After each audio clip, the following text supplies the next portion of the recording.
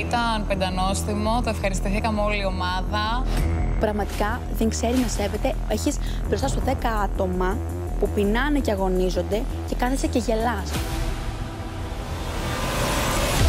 Το επίπεδο είναι, δεν ξέρω πώς να το χαρακτηρίσω, πραγματικά έχει φτάσει πάτωμα θα έλεγα. Από το ένα μπαίνει, από το άλλο βγαίνει. Στέλνω κι άλλο ένα φιλάκι. Την ευχαριστώ πάρα πολύ για το φυλάκι που μου έδωσε. Δείχνει το χαρακτήρα της και την προσωπικότητά της. Δεν είναι καθόλου το στυλ μου, γιατί εμένα μου αρέσουν οι γυναίκες που έχουν προσωπικότητα, έχουν πυγμή, σέβονται τον εαυτό τους και έχουν άποψη.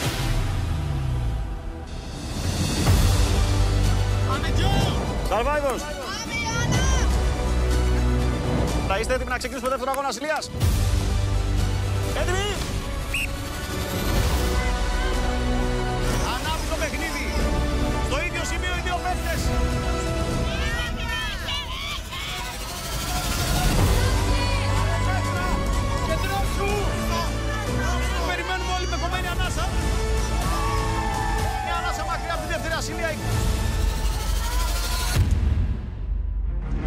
Θα έχουμε και άλλες αφήξεις στο νησί. Αφήξεις οι οποίες αφορούν και στις δύο ομάδες. Θα έχουμε όμως και κάποιους παίκτες οι οποίοι έχουν αποκτήσει την εμπειρία του Survivor. Μάλιστα. Θα ήθελα να δω τον Λεμπρόν, αλλά όχι τον James. Survivor. Αύριο στις 9 το βράδυ στον Sky.